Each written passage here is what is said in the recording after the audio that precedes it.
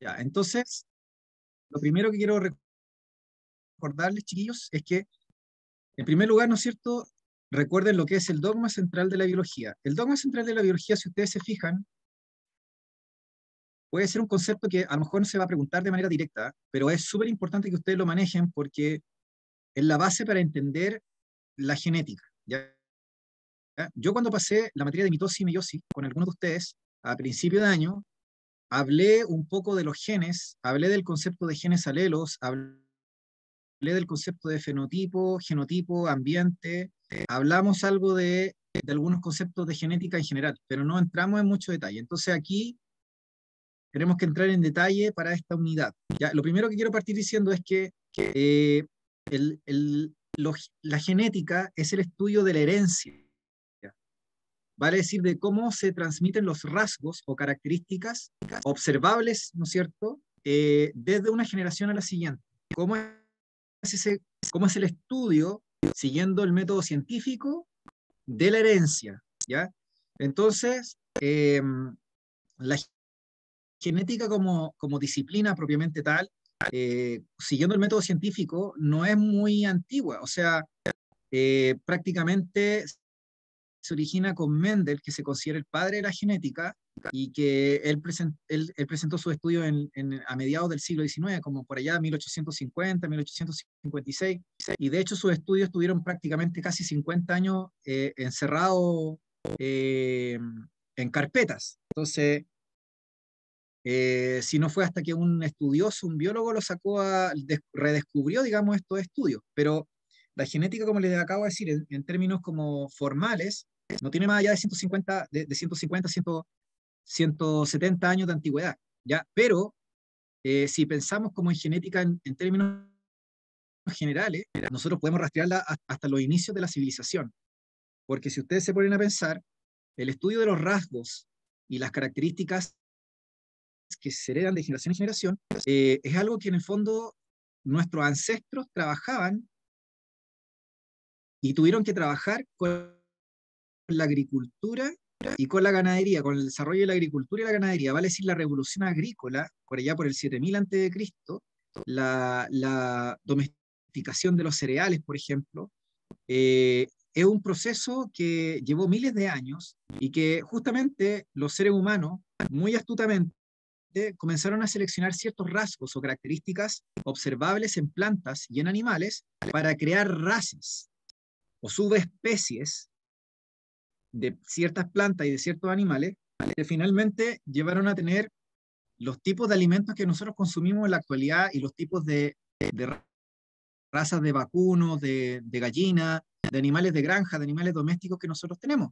Entonces, la genética comienza mucho antes, no, no, comienza ahora en el siglo XX, no sé, podríamos decir que prácticamente comienza con el inicio de la civilización humana, ¿ya? Pero de manera estandarizada, que, que siga el método científico, un método de trabajo, de estudio, eso es mucho más reciente, como le dije, no tiene más allá de 160, 170 años de antigüedad, ¿ya? Y el estudio de la genética ya con los genes, eso es posterior al año, a la década del 50 del siglo pasado, del siglo XX, o sea, 1953, 1957. Imagínense, ahí sí que estamos hablando de poco tiempo, estamos hablando de prácticamente 80 años, o menos de 80 años de desarrollo, ¿ya? Eh, con éxitos tan grandes como la, la, codificación del genoma humano en la década del 2000, ¿no es cierto? o en el o inicio del 2000. Eh, y, clonación de diferentes, la secuenciación, perdón, del genoma, no clonación, secuenciación del genoma, quiero decir, de la especie humana y de diferentes especies. ¿Ya? Aparte, bueno, la clonación también, pero me refiero a la secuenciación del genoma. Bueno, volviendo al tema. Eh, como les contaba anteriormente, eh, el dogma central de la biología fue enunciado en la década del 50 del siglo pasado, 1953 aproximadamente, por Watson y Crick, eh, que son, ¿no es cierto?, un grupo de o sea, un par de investigadores que sacaron el premio Nobel, ya por su estudio, y ellos básicamente dijeron, o sea, descubrieron que los genes están almacenados en el ADN, en el ácido desoxirribonucleico, que codifica para la síntesis de proteínas. ¿ya? Entonces, cada proteína es un gen expresado, pero para que este gen se exprese necesita previamente ser transcrito a un intermediario temporal que se conoce como ARN mensajero, y este ácido ribonucleico mensajero, que es una copia eh, del gen que se, se, va, se va a leer y se va a traducir finalmente a proteínas, y son las proteínas las que finalmente se van a expresar como rasgos o características observables. Entonces, cada rasgo o característica en el fondo es expresión de una proteína y la proteína a su vez es expresión de un gen. Por lo tanto, los genes o la secuencia de nucleótidos de ADN que se encuentran en el núcleo de las células, en el fondo eh, son la unidad de herencia que se terminan expresando como rasgos o características observables. Obviamente que para la expresión de, de estas proteínas necesitamos proteínas que hagan esta pega de copia o este trabajo de copiar y este trabajo de, de expresar. ¿ya? Entonces, finalmente es, es, la proteína como el ejecutor mismo de, de este proceso de expresión. ¿Ya? Entonces, como les decía anteriormente, el dogma central de la biología establece, ¿no es cierto?, de que los genes están almacenados en el ADN y estos finalmente se terminan expresando en proteínas y las proteínas son lo que se manifiesta como rasgos o características observables. Entonces, cada vez que ustedes ven el color de, una, del piel de un animal, eh, la textura de una planta o de un, eh, algún tipo de rasgo observable o no, o un tipo de proteína, por ejemplo, que ustedes analizan en una célula, eso es expresión de un gen, de una secuencia nucleótido del ADN. ¿ya? De más, también está recordarle a ustedes que eh, obviamente nosotros en nuestras células tenemos eh, el mismo genoma, ¿ya? el mismo genoma en todas nuestras células. Y resulta que ese genoma que tenemos en todas nuestras células tiene todos los genes que nosotros necesitamos para hacer todas nuestras funciones y para expresar todos los tipos celulares que nosotros necesitamos. Entonces, una de las cosas como que conviene recordar, aparte de este dogma central de biología, es que cada, cada tejido de, y órganos ¿no es cierto? específicos de nuestro cuerpo o del cuerpo de, de, los mamíferos o de los vertebrados superiores, hace un proceso de diferenciación celular. Entonces, todas las células comparten el mismo genoma, la misma información, pero no todas expresan de igual forma la información. Entonces, hay tejidos que expresan una parte de la información y la otra la reprimen. ¿Se fijan? Entonces, nosotros tenemos que el proceso de diferenciación, diferenciación celular lo que hace es que, dependiendo de los, del contexto y de los factores ambientales o las hormonas o las sustancias que estén presentes, vamos haciendo expresión diferencial de ciertos genes y de otros obviamente no, ¿ya? Y esos genes que se van expresando van determinando la formación de ciertos tipos celulares que van a tener funciones particulares o específicas. Entonces, nosotros no podemos decir que hay una célula de nuestro cuerpo que está expresando todos los genes, porque eso es falso. Cada célula de nuestro cuerpo, dependiendo de los, tejidos, expresa de manera diferencial la información y de una manera parcial. Entonces tenemos una biblioteca inmensa, pero cada célula de cada tejido expresa una parte de esa biblioteca o, trabaja o se especializa en una parte de esa biblioteca. El resto se reprime. El resto de la información se reprime. Y mientras más diferenciado está una célula, más especializada está en una función y obviamente menos capacidad tiene para poder reproducirse asexualmente o hacer mitosis, porque incluso llega a, reprimir los genes que controlan el ciclo celular. O sea, a ese nivel es la diferenciación, ¿ya? Tal forma que si uno pierde después esa célula, uno pierde la célula. No, no puede regenerarse o repararse el tejido, ¿de acuerdo? Entonces, esa es una cosa muy importante porque muchas veces hay gente que no entiende muy bien cómo es posible que existan más de 200 tipos celulares diferentes en el, en el cuerpo de un ser humano, eh, siendo que en el fondo todas las células tienen el mismo genoma y todas deberían tener los mismos genes, y de hecho los tienen. Pero como ya les digo anteriormente, cada tejido hace una expresión diferencial y parcial del genoma. ¿De acuerdo? Ya, entonces, insisto, esto es como para darle una base inicial, ¿no es cierto?, del el dogma central de la biología, como para que recuerden, ¿no es cierto?, de que cada rasgo o característica observable o proteína que nosotros podamos describir como un grupo de sangre, por ejemplo, eh, o una glicoproteína específica de un glóbulo rojo, es en el fondo un gen expresado.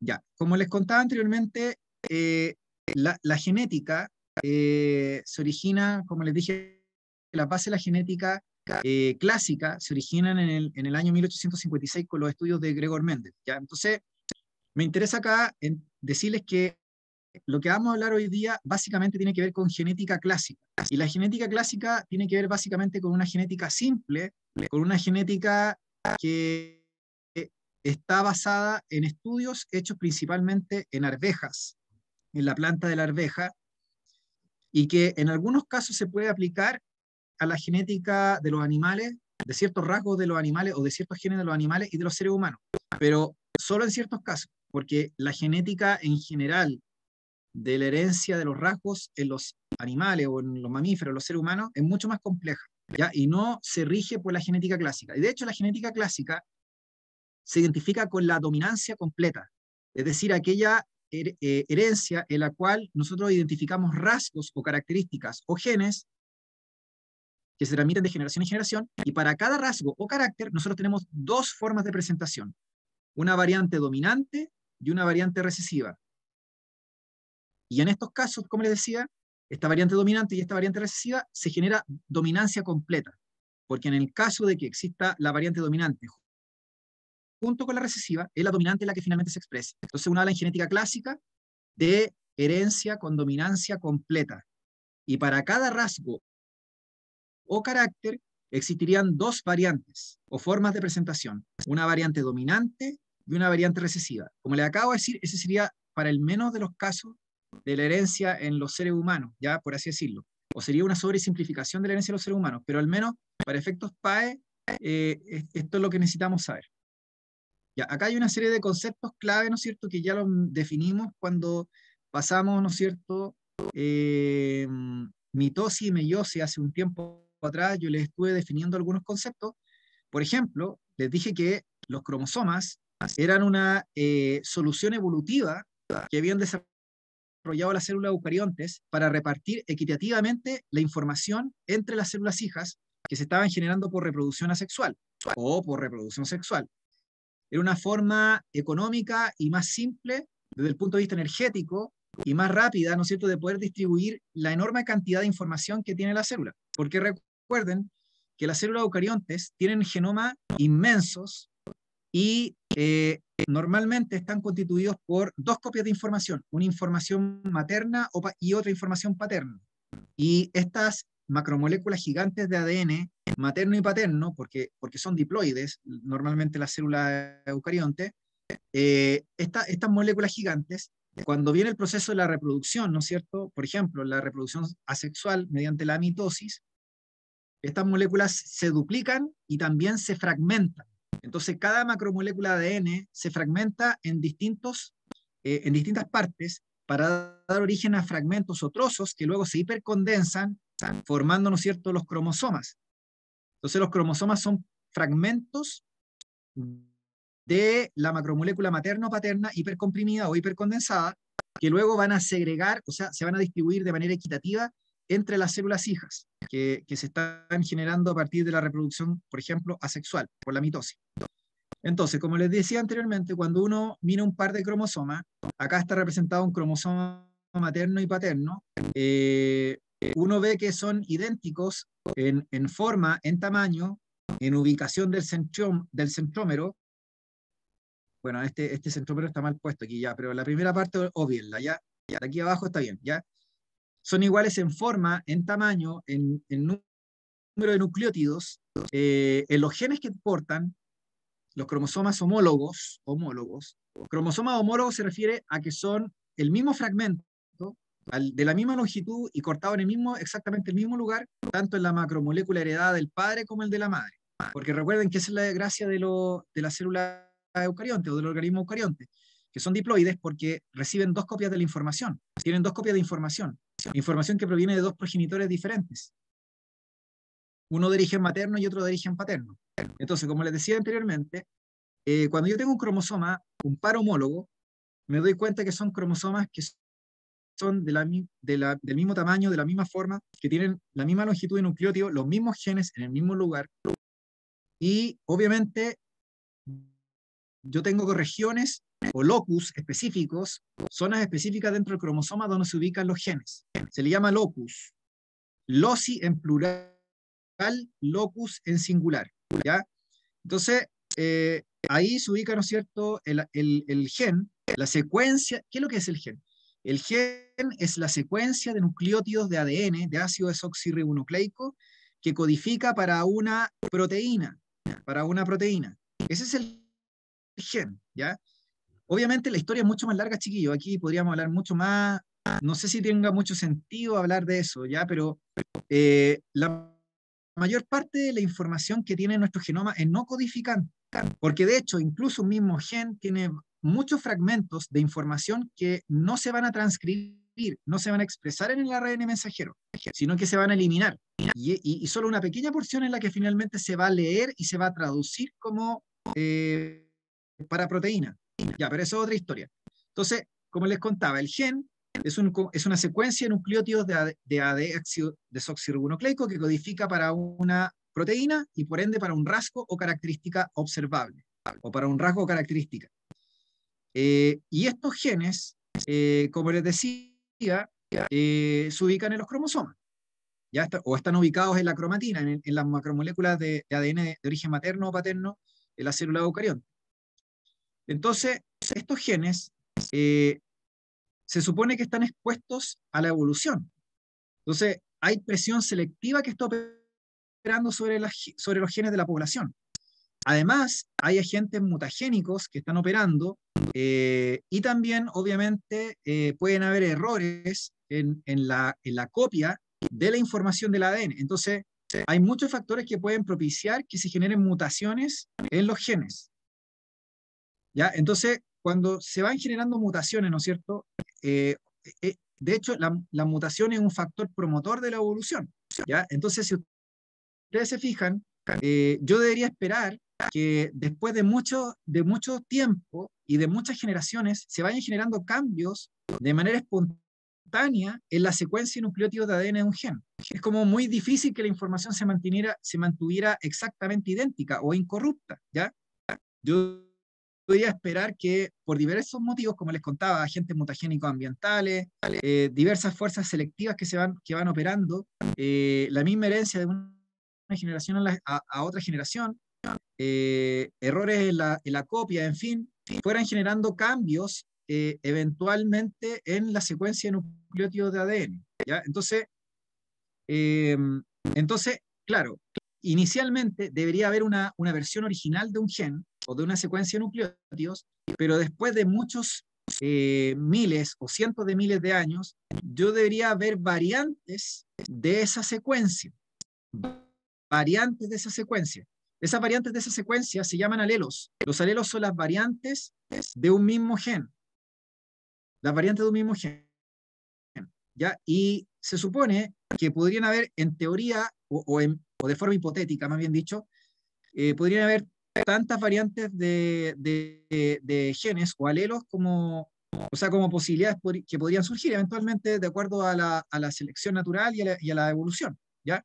Entonces, como les comentaba, en genética clásica, al menos, se supone que hay dos variantes o dos alelos por cada gen, como mínimo. Una variante dominante y una variante recesiva, porque recuerden que estamos hablando aquí de genética clásica.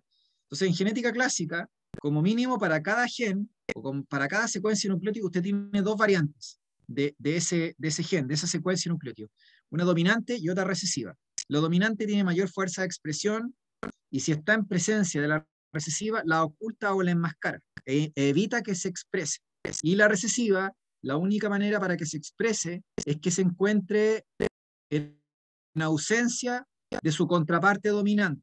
Entonces, si yo tengo un par homólogo, un par de cromosomas homólogos, que se supone que tienen los mismos genes, yo podría tener que ambos eh, cromosomas homólogos de un mismo par, supongamos el par 8, tuvieran exactamente la misma secuencia de, nucleótidos de un gen en particular, porque la información que venía de ese gen proveniente del el óvulo de la madre era exactamente igual que la información del gen que venía del espermatozoide del padre. Entonces yo tuviera exactamente la misma secuencia para ese gen, pero también podría ocurrir que yo tuviera una secuencia o una variante de un alelo, ¿no es cierto?, de ese gen en, el cromosoma de la madre, distinto del alelo que yo tuviera en el cromosoma del padre. Es decir, que yo recibiera dos alelos diferentes de un mismo gen. ¿Se fijan? Eso también podría ser una posibilidad. Entonces, todo depende. Pero como les dije, en principio, como mínimo, al menos en genética clásica, usted debería tener por cada gen dos alelos o variantes de ese gen. Una variante dominante y una variante recesiva. ¿Ya? Ahora, en la realidad, obviamente, es diferente. se amplía mucho más allá de la genética clásica. Yo tengo genes que tienen muchos alelos, muchos alelos diferentes para un mismo gen, y que se generan muchas variantes mutantes. ¿Ya? Eh, estos alelos no tienen por qué ser necesariamente positivos, ¿entiende? O sea, que, que siempre sean características eh, ventajosas desde el punto de vista evolutivo. Podrían ser también variantes mutantes o alelos mutantes de un gen que generan características desventajosas, o sea, que podrían generar enfermedades genéticas. ¿Se fijan?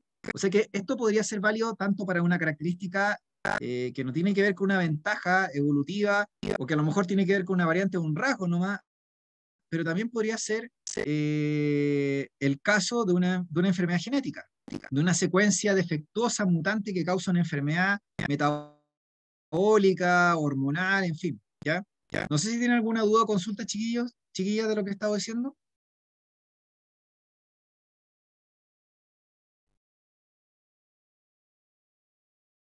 ¿Duda o consulta?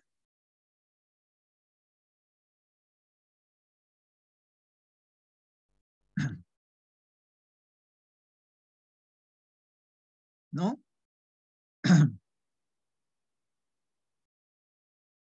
Ya, acá tienen, por ejemplo, un par de cromosomas homólogos, un cromosoma materno y un cromosoma paterno.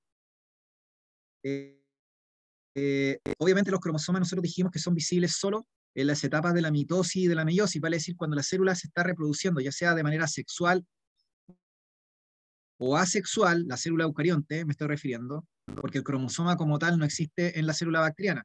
O sea, me refiero a esta estructura. ¿ya? Esto es solo de la célula eucarionte. Entonces, cuando ustedes tienen un par homólogo, ¿no es cierto?, eh, en una célula eucarionte, por ejemplo, acá está representado con colores diferentes eh, eh, los distintos tipos de genes que puede tener un mismo par homólogo, y yo me doy cuenta de que yo podría tener exactamente el mismo color, o sea, el mismo tipo de alelo, tanto en el cromosoma del padre como de la madre, para un mismo par, pero también puedo tener una variante del mismo color. Por ejemplo, acá sale un cromosoma paterno que tiene el alelo, la variante del gen de color azul, y acá está la variante del alelo, pero de color eh, azul claro o celeste. Entonces, una variante. No es exactamente la misma secuencia. Fíjense que es una variante, chiquillos. Yo no estoy diciendo que es un gen diferente. No es un gen distinto. Es el mismo gen. Es el mismo gen. Por eso que digo que el alelo son variantes del mismo gen. Son como actualizaciones de un software. Es como hablar de una actualización de un Android o de un Windows. Entonces yo tengo el Windows 11 y está el Windows 12. O tengo el Android, no sé, 12.0 y sale el Android 12.3. Entonces, es el mismo sistema operativo, es el mismo software, solo que tengo una variante actualizada. ¿Ya? También le podría decir una variante mutante, como ustedes quieran llamarle, pero es una variante. Es una variante. Ahora, a diferencia de un software o un sistema operativo, el tamaño de esta secuencia no cambia. Porque cuando ustedes tienen una variante de una actualización de un software, generalmente se ocupa más información, mayor tamaño. Pero aquí no, acá el tamaño, la secuencia, el número de nucleótidos totales se mantiene constante. Lo que, lo que cambia es el orden de algunos nucleótidos de la secuencia. Y de hecho, es una pequeña porción la que cambia, porque si cambiara mucha, cantidad de nucleótidos, ya tendría un gen distinto. Para que yo pueda tener una variante, no necesito cambiar toda la información. Puedo cambiar un pequeño porcentaje de la información, de hecho un porcentaje ínfimo, menor al 0,1% o menor al 1%, ya es suficiente para generar una variante. No necesito hacer un gran cambio. Lo que necesito hacer son cambios específicos en zonas como críticas de la arquitectura del gen o de la arquitectura de la futura proteína, por así decirlo, y ya con eso tengo suficiente para cambiar eventualmente el producto final o dar una variante que puede cambiar el color, que puede cambiar la textura, en fin.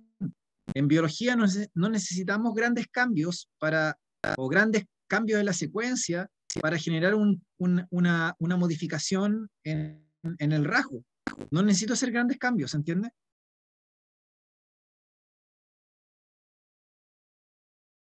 Entonces, como ustedes se fijan, yo acá puedo tener muchos genes que se encuentran, ¿no es cierto?, en lo que se llama homocigosis, porque son exactamente la misma secuencia o el mismo alelo que se presenta tanto el cromosoma paterno como el materno, pero también puedo tener genes en heterocigosis, lo que significa que se recibió en el cromosoma de origen materno una secuencia distinta del que se recibió del cromosoma de origen paterno.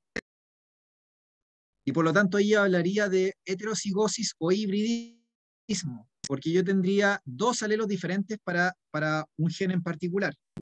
Pero lo más importante, chiquillos, es que ustedes entiendan que alelos nos estamos refiriendo a un mismo gen, no a genes diferentes. Y la diferencia que existe en la secuencia de nucleótidos de dos alelos de un mismo gen es mínima. Puede ser una diferencia del 0,001%. De 100.000 nucleótidos puedo variar 2 o 1. Pero si está justo en la zona crítica o, adecuada, yo puedo generar un cambio en el producto final, o en la proteína que finalmente se va a expresar. Bueno, acá tengo una imagen que me habla de las enfermedades. O sea, este es un mapa que me habla del cromosoma 8, que tiene 146 millones de pares de bases eh, en el cromosoma 8 humano, por supuesto. No estoy hablando del del perro ni el de la levadura o de un hongo, estoy hablando de un ser humano. Y acá están mencionadas eh, los distintos tipos de genes mutantes que causan enfermedades autosómicas recesivas en el ser humano. Por lo tanto, todo lo que ustedes ven aquí son enfermedades. O sea, como una mutación, una mutación en una fracción mínima de la secuencia nucleótida de un gen en particular genera enfermedades, algunas de ellas más graves que otras, que, que, pueden afectar a las personas.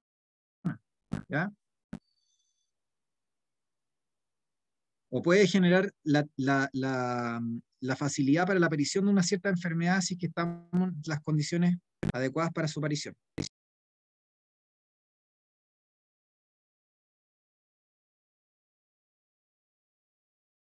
Como les comentaba anteriormente, em, ya le había comentado a ustedes que los cromosomas, ¿no es cierto?, son, eh, son fragmentos de la macromolécula del padre y la madre hipercondensados con histonas que sirven, ¿no es cierto?, evolutivamente para la distribución equitativa de la información genética entre las células que se están generando por reproducción. Y cuando yo tengo un par homólogo es porque tengo información que proviene de distintos progenitores, ¿ya? Y esa, esa información contiene los mismos genes, ¿no es cierto? Tienen la misma longitud de nucleótidos, lo que ustedes quieran, pero la secuencia específica o los alelos de cada gen no tiene por qué ser idéntico.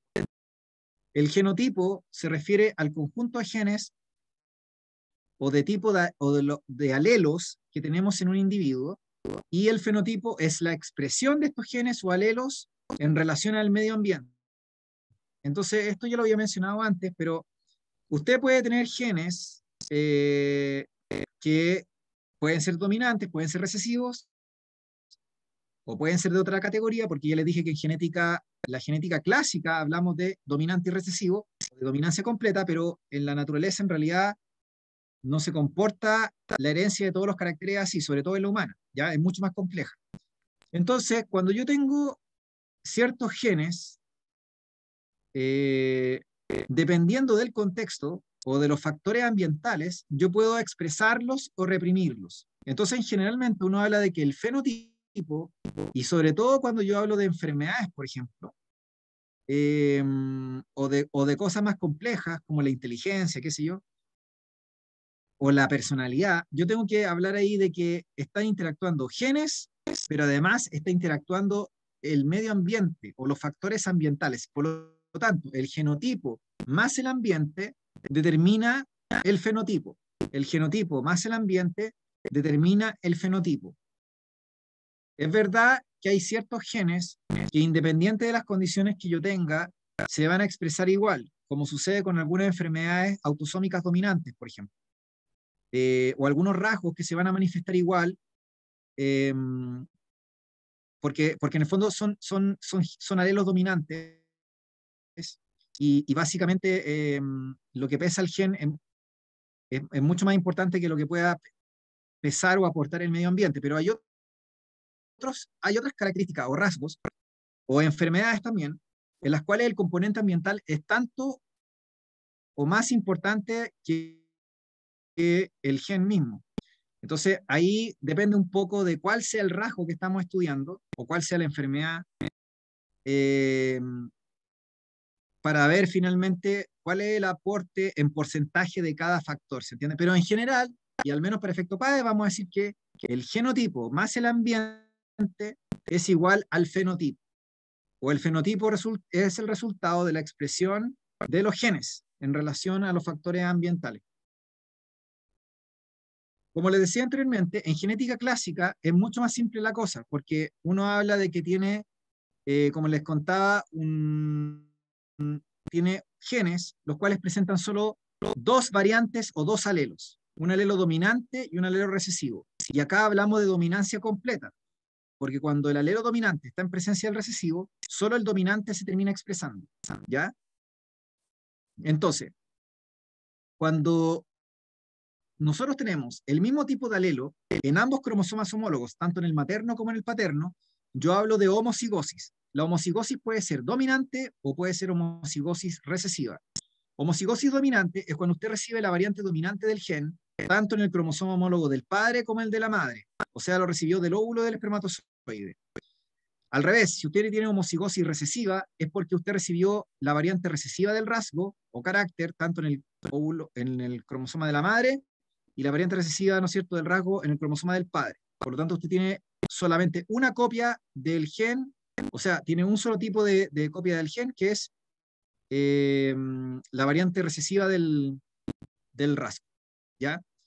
Ahora, la letra mayúscula y la letra minúscula se utiliza para tratar de diferenciar cuál es el alelo dominante y cuál es el recesivo. La letra mayúscula representa mayor jerarquía, o sea, el dominante. La letra minúscula representa menor jerarquía, o sea, el recesivo. Cuando usted tiene que los alelos son diferentes, porque en el cromosoma, en el par homólogo, por ejemplo, el par 4, no sé, usted tiene un gen, eh, por ejemplo, el gen A, y usted recibió del, del padre, ¿no es cierto?, la variante dominante, A mayúscula, y en el cromosoma de la madre recibió la variante recesiva, A minúscula, yo hablo de un caso de hibridismo o heterocigosis. Como estamos hablando de genética clásica y de dominancia completa, el alelo dominante va a dominar o enmascarar o suprimir al recesivo.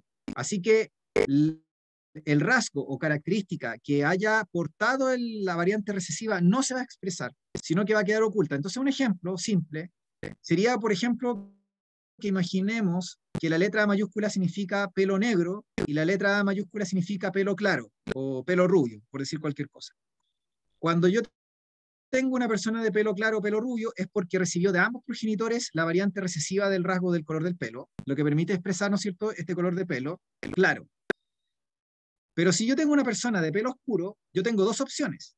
O que la persona es homocigota dominante porque recibió tanto en el cromosoma del padre como el de la madre la misma, el mismo tipo de alelo, es homocigoto dominante, o que la persona es híbrida y que tiene simultáneamente la variante del pelo oscuro y la variante del pelo claro. Pero como la variante dominante es la que finalmente se manifiesta, porque aquí hay dominancia completa, la persona va a terminar teniendo el pelo negro, aunque dentro de sí tiene el gen, o sea, el, alelo, ¿no es cierto?, del pelo claro o del pelo rubio. Por lo tanto, esta persona sería portadora del pelo claro. ¿Se fijan? Entonces, esto que estoy hablando del pelo claro y del pelo oscuro también aplica para las enfermedades.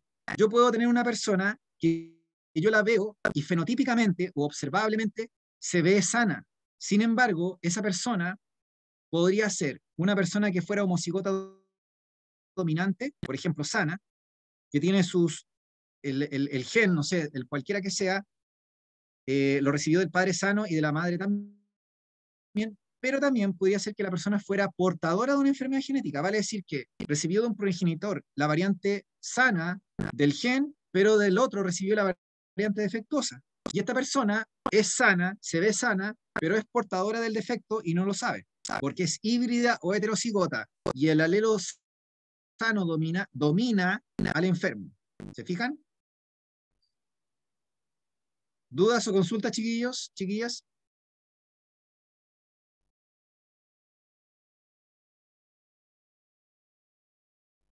Ya, entonces, para seguir avanzando, como les contaba hace un rato atrás, eh, Mendel es el padre de la genética clásica, y él, ¿no es cierto?, en la genética clásica, que ya les dije que es de dominancia completa, él identifica que para cada rasgo o carácter existen dos tipos de alelos, un alelo dominante y un alelo recesivo para cada rasgo o carácter. Él trabajó con plantas de abeja, que curiosamente es una planta, una planta con flores, angiosperma, que para cada rasgo o carácter tiene solamente dos alelos o dos formas de presentación, una dominante y una recesiva. Por ejemplo, en las plantas de arvejas, las flores o son púrpuras o son blancas. No tienen rosas, ni, o sea, ni rosada, ni roja, ni, ni no sé, ni, ni calipso, ni, ni café o, gris o lo que sea. Solamente tienen dos variantes de color, púrpura y, y blanco. La púrpura es dominante y el blanco recesivo. Luego, para la semilla de la arveja, usted tiene solo dos colores, amarillo y verde, habiendo muchos colores que uno podría decir y en otras plantas, pero aquí en la arveja no, no resulta. Solamente tiene dos variantes, amarillo o verde y así con cada rasgo o carácter. Entonces esta planta es muy particular. esta planta es muy particular. Primero, es una planta que se, se reproduce por autofertilización. Vale decir que, como todas las plantas con flores, la flor es el lugar, es el lugar donde están los genitales. La flor es el genital de las plantas con flores. Y en este genital usted tiene los dos sexos, masculino y femenino, o sea, hermafroditismo. Pero en las, mayores, en las plantas con flores comunes y corrientes, la fertilización, la autofertilización se encuentra bloqueada. Por lo tanto, usted no, si usted tiene un manzano y tiene las flores del manzano, el polen del manzano, que el gameto masculino, no fecunda las propias flores, el, propio óvulo del, del manzano, sino que al contrario, el viento o las abejas o los pájaros llevan el polen de un manzano a otro manzano diferente y lo terminan fecundando. Entonces se genera una fertilización cruzada entre dos manzanos diferentes eh, a través de sus órganos sexuales, de las flores. Pero en la planta de la arveja, la estructura floral está cerrada. Por lo tanto, el polen normalmente no sale de la flor y termina fecundando a los propios óvulos que están dentro de la estructura de la flor, del gineceo de la, de la estructura de la flor. Entonces, la, la planta de la arveja al final son individuos de raza pura, porque hacen el proceso de meiosis, de generación de gametos, que tiene algo de variabilidad genética, pero la fecundación no es entre individuos diferentes, sino que entre él mismo. ¿Se fijan? Obviamente eso reduce la variabilidad genética inmediatamente, porque la fecundación, una de las cosas que tiene es que normalmente ocurre entre individuos diferentes para garantizar el aumento de la variabilidad genética de la descendencia. Entonces, no es solo el crossing over, no es solo la permutación cromosómica de la meiosis, eh, no es solo las mutaciones, sino que también es la fecundación entre individuos diferentes de la población de una especie, lo que aumenta la variabilidad genética de la descendencia. De hecho, la lógica dice que la variabilidad genética es mejor eh, en el sentido de que permite que haya más probabilidad de que si cambia el entorno, por selección natural, ¿no es cierto? Eh, de acuerdo a la evolución, puede haber mayor posibilidad de adaptación, ¿se entiende? Eh, frente a cambio en el entorno, que tener individuos de raza pura que, que tienen una genética definida. Pero bueno, en la planta de la arveja no pasa ese, ese, ese caso, ¿se entiende? Esa particularidad. Y explicaciones del por qué ocurre así hay muchas y eso ya es algo hipotético, chiquillos, y que sería algo como de evolución, ¿ya? Lo único que les puedo decir para los que son de mención biología es que las plantas con flores o angiospermas son la cúspide de la evolución de las plantas terrestres. Aparecieron no hace mucho tiempo, hace como 165 millones de años de antigüedad, se rastrean los fósiles más antiguos de las plantas con flores. Y en los albores de la evolución y de la expansión de las plantas con flores, obviamente tiene que haber operado genes que permitían la, la autofecundación para el proceso de expansión de estas nuevas especies. Pero con el tiempo ese proceso se bloqueó obviamente porque resultó innecesario y además porque eh, obviamente hay más mm, beneficios de, de, variabilidad genética, ¿no es cierto?, al, al, al, fecundarse entre individuos diferentes de una población, pero eso solo una vez que se han expandido, ¿se entiende? Bueno, en fin, no quiero meterme en ese tema, es un tema de evolución esto que le estoy contando, pero lo que quiero que entiendan es que la planta de, de arvejas actualmente, y en la época de Mendel, ¿no es cierto?, se caracterizaba por tener para cada rasgo carácter o gen tenía dos variantes, una, alelo, una variante dominante y una variante recesiva. ¿Cómo Mendel podía saber cuál era dominante y cuál era recesiva? Súper fácil. Lo que único que tenía que hacer era cruzar artificialmente, o sea, agarrar el polen de una, de una planta, ¿no es cierto?, de arvejas, eh, en, fecundando, ¿no es cierto?, los, los óvulos de, de, otra, una fertilización cruzada, y al cruzar, por ejemplo, eh, una planta de arvejas de flores púrpuras con una planta de arvejas de flores blancas, inmediatamente en la generación que lo obtenía se da inmediatamente cuenta cuál era la variante dominante cuál era la variante recesiva. Por ejemplo, cuando él cruzó planta de arvejas púrpuras con planta de arvejas rosa, o sea, blancas quiero decir, todos los descendientes de la generación F1 salieron púrpuras. Eso inmediatamente me dice que el púrpura es dominante sobre el blanco. Lo mismo pasó con la semilla. Cuando él cruzó plantas de arvejas de semillas verdes con plantas de arvejas de semillas amarillas, todos los descendientes de la F1 salieron amarillos, lo que dice que el amarillo es dominante sobre el verde. Y así con cada rasgo carácter. Cuando él cruzó plantas de arvejas de semilla rugosa con plantas de arvejas de semilla lisa, el 100% de la generación F1 salió lisa. Lo que le dice a él que el liso es dominante sobre el rugoso. Y así, como les digo, para cada rasgo carácter que él analizaba. Entonces era súper simple saber cuál era dominante y cuál era recesivo. Por otra parte, como les vengo diciendo recién, las plantas de arvejas son de raza pura, lo que significa que sus rasgos se mantienen inalterados. Es decir, si yo tengo una planta de, arvejas de flores púrpuras, todos los descendientes van a salir de flores púrpuras. Lo mismo si tenía una planta de arvejas de flores, eh, de, semillas, perdón, eh, verdes, porque ya les dije que se autofecundan. Entonces la variabilidad genética disminuye. Se perpetúan los mismos rasgos, ¿se fijan? Entonces, en ese sentido, él podía estar seguro que estaba trabajando con individuos de raza pura. Para cada rasgo carácter que él encontraba o analizaba, él podía estar 100% seguro que estaba trabajando con individuos de raza pura, por la autofecundación que les comentaba anteriormente.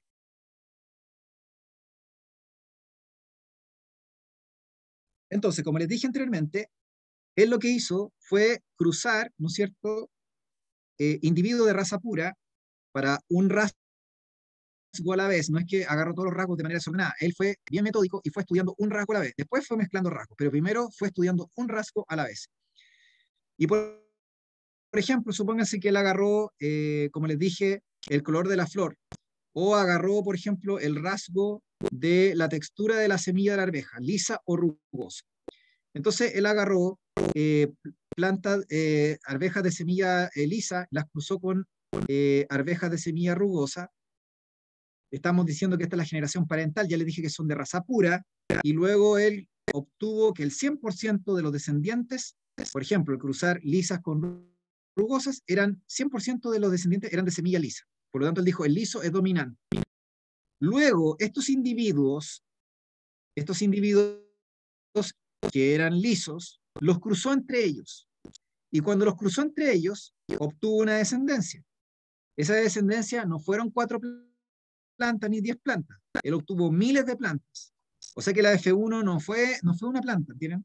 La F1 fueron cientos de plantas y la F2, o la generación filial 2, fueron miles de plantas. De esas miles de plantas, más de 700 y tantas plantas fueron de semillas de, de arvejas de semilla lisa y 200 y tantas plantas, o un 25% del total, fueron semillas de arvejas rugosas. Por lo tanto, él descubrió que el rasgo, la variante rugosa del rasgo, apareció en la F2. Obviamente esto ratificaba que era la variante recesiva del rasgo, pero apareció en una proporción del 25%, como les digo anteriormente, versus el 75% que manifestaba la variante dominante del rasgo. Entonces, esta es la primera ley, chiquillos, de Mendel. La primera ley de Mendel es el cruce entre híbridos. El cruce monohíbrido o entre dos heterocigotos es la primera ley de Mendel. La primera ley de Mendel es el cruce monohíbrido o híbrido para un rasgo o carácter. El cruce monohíbrido o híbrido para un rasgo o carácter. ¿Cuál es el rasgo o carácter?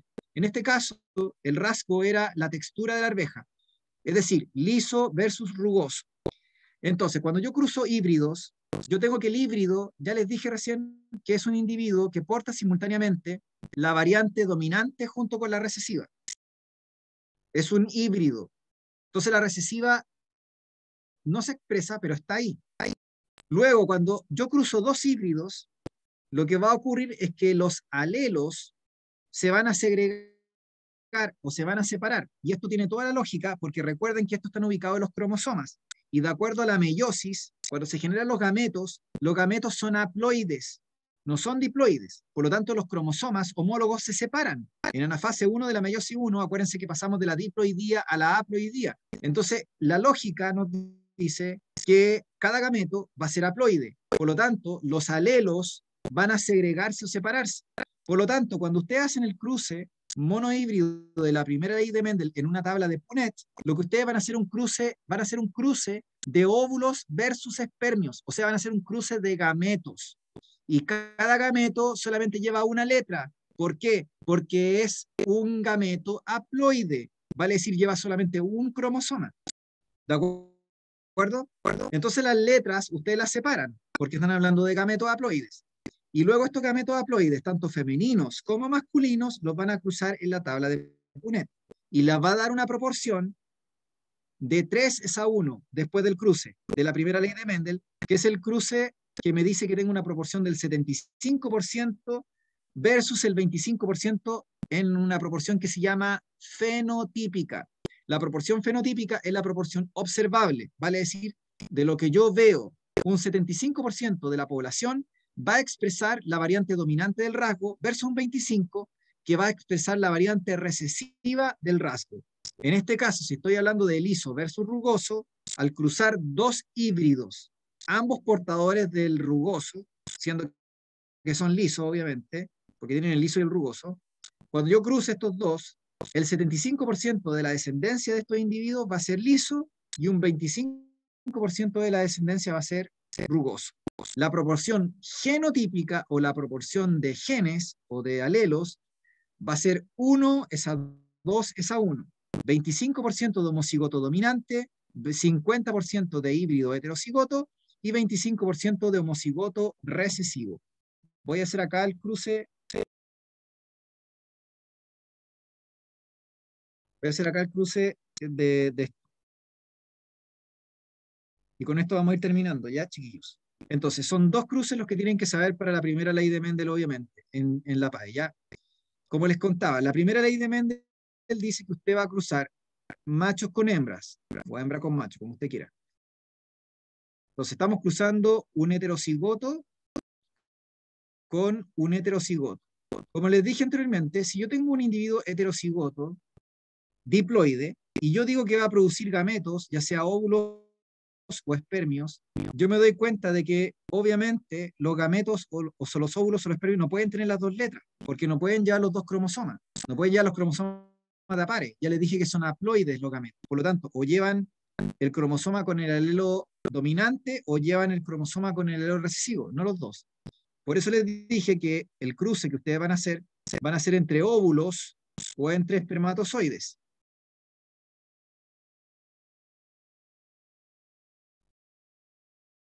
Entonces, voy a cruzar óvulos a grande a chica o espermatozoides a grande a chica. ¿Por qué? Porque los individuos heterocigotos o híbridos producen dos clases de gametos. Gametos a grande o gametos a chica. 50 es a 50. Es como el cara de sello de una moneda, ¿se fijan? 50% de probabilidad de producir gametos a grande o 50% de probabilidad de producir gametos a chica. Luego voy a hacer el cruce de estos gametos. Si el óvulo de la hembra que lleva el alelo dominante se fecunda justo por un espermatozoide que lleva el alelo dominante, entonces voy a tener un individuo doble A, que sería un individuo homocigoto dominante. si yo tengo que el óvulo es fecundado por un espermatozoide que lleva el alelo dominante y el óvulo lleva el alelo recesivo, voy a tener un individuo híbrido. Lo mismo al revés. Si el óvulo que lleva el alelo dominante es fecundado por un espermatozoide que lleva el alelo recesivo. Y por último, tengo la combinación final, que sería el que el óvulo que lleva el alelo recesivo es fecundado por un espermatozoide que lleva el alelo recesivo, lo que me resulta en un individuo homocigoto recesivo. O sea, un casillero de 4, 25%. Por eso les digo que la proporción fenotípica sería 3 a 1, o 75% versus un 25% de la descendencia. Luego la proporción genotípica sería 1 es a 2 es a 1. Como les decía anteriormente, doble A homocigoto dominante sería un casillero, a grande a chica serían dos casilleros, o sea, 50%, y a chica chica sería un casillero, o sea, 25%. La proporción genotípica o de combinación de alelos. Este es el primer cruce de Mendel o cruce mono híbrido. ¿Quedó claro, chiquillos?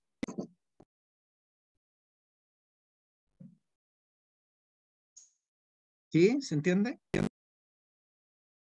Para ir cerrando ya. Ya, perfecto. Entonces, este cruce es como le decía, el más importante y el que tienen que saber. El cruce más importante y el que tienen que saber, como les comentaba anteriormente. El otro cruce que tienen que saber es el cruce que les va a dar la proporción 50 a 50, que ya no es la primera ley de Mendel, es derivado de la primera ley de Mendel, que es el, lo que se habla del retrocruce, ¿ya? Pero es un cruce que da una proporción de 1 es a 1. No es la primera ley de Mendel, es derivado de la primera, ¿ya? Pero no es primera ley de Mendel, para que no se confundan. La primera ley de Mendel es el cruce entre dos heterocigotos. La primera ley de Mendel es el cruce entre dos heterocigotos. A grande a chica, a grande a chica. Donde yo cruzo los gametos, óvulos y espermios segregados que tienen el alelo dominante y el recesivo segregados o separados, y que me da la proporción 3 a 1. ¿Ya? Ya, les voy a dar un ejemplo de la primera ley de Mendel antes de hablar del otro, de otro ejemplo, y con esto cerramos. En la antigua PCU, uno de los antiguos ejemplos que salía, y que salió a menudo, es el albinismo. Es una enfermedad autosómica recesiva, igual que la anemia falciforme. Una enfermedad autosómica recesiva se refiere a una enfermedad que se debe a una mutación de un gen, un gen que tiene que ver con alguna proteína que cumple una función en nuestros cuerpos, nuestros tejidos, y ese gen se ubica en los cromosomas del 1 al par 22. ¿Por qué? Porque estamos hablando de cromosomas autosómicos o somáticos. Esto no tiene nada que ver con la herencia sexual o con la herencia ligada al sexo, o con el cromosoma X o Y, ni tampoco con la herencia mitocondrial. Esto estamos hablando de herencia autosómica, herencia de los cromosomas de los pares 1 al 22. No tiene nada que ver con sexo. Entonces, en esta herencia autosómica, yo tengo herencia dominante y herencia recesiva. El albinismo se considera una enfermedad autosómica recesiva, igual que la anemia falciforme, que la fibrosis quística, que la fenilcetonuria, que la intolerancia al gluten, en fin, lo que ustedes quieran. ¿ya? Entonces, herencia autosómica recesiva, un tipo de ejemplo, ¿no es cierto?, de enfermedad autosómica recesiva. Para que yo tenga una persona albina, tengo que tener una persona en homocigosis recesiva. Vale decir que recibió tanto del padre como de la madre el alelo recesivo, que en el fondo corresponde a una mutación del alelo normal.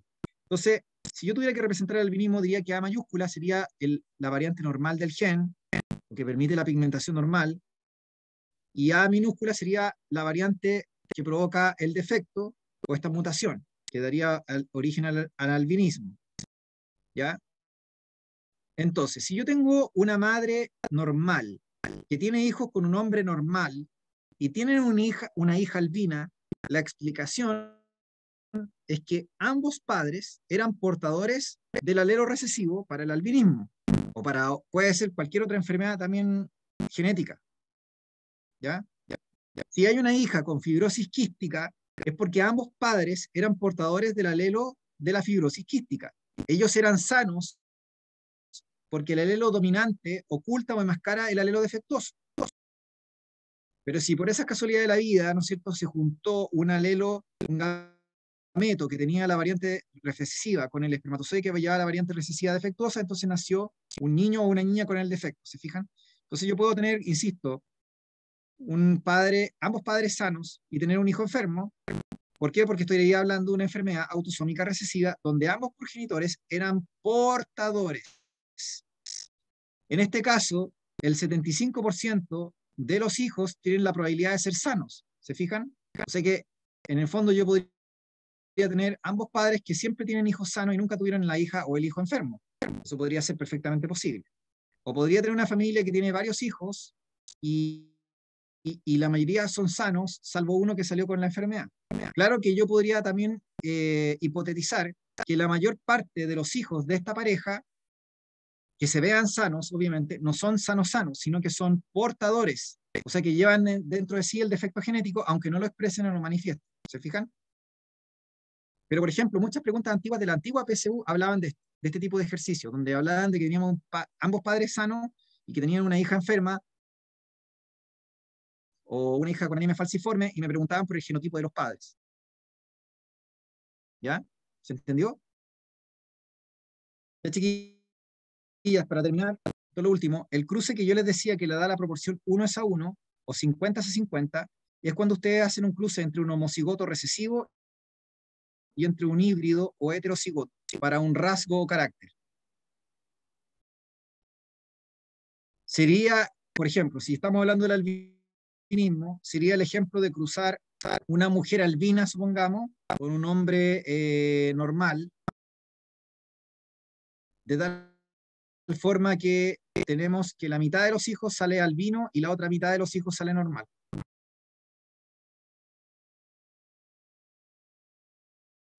Porque si, ustedes se fijan, si yo tengo una mujer albina y tiene hijos con un hombre normal, normal, normal, es imposible que los hijos salieran albino. Un hombre normal, normal, todos los hijos salen eh, con dominancia completa, obviamente, estamos hablando de genética clásica, todos los hijos salen eh, híbridos, pero todos salen normales porque no se expresa la variante recesiva. ¿Se fijan? Pero si yo tengo que una mujer albina tiene hijos con un hombre y, salen, y sale hijo albino, o, o sale un hijo albino, yo me doy cuenta que en el fondo el hombre era portador.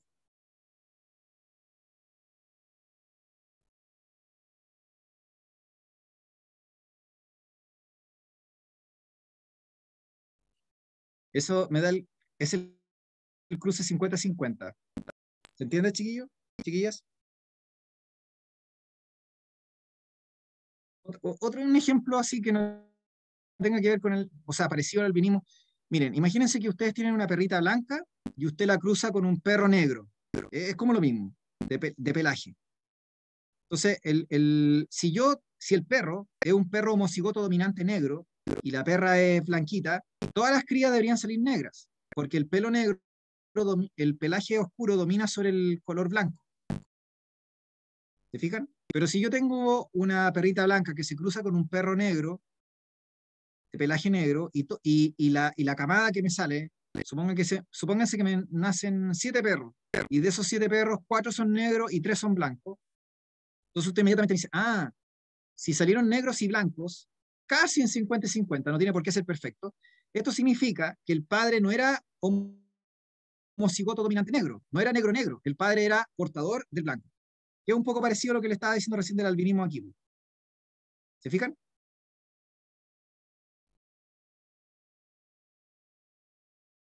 Ya, con esto chiquillos lo vamos a dejar hasta acá entonces.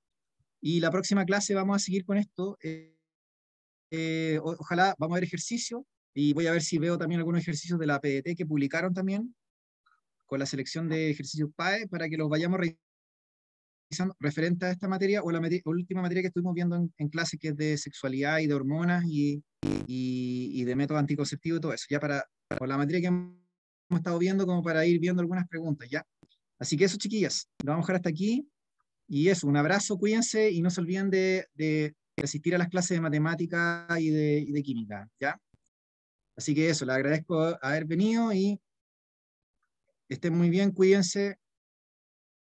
Y nos estamos viendo. ¿Ya? Ya. Chao, chao. Nos vemos. Chao, chao.